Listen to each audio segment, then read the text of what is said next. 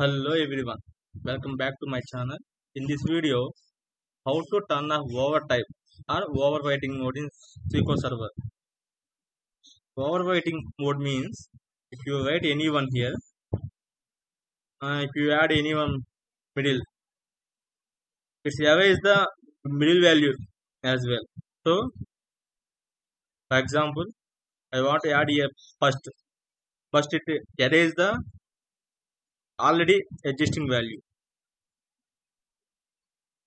So in this issue we have fixed just press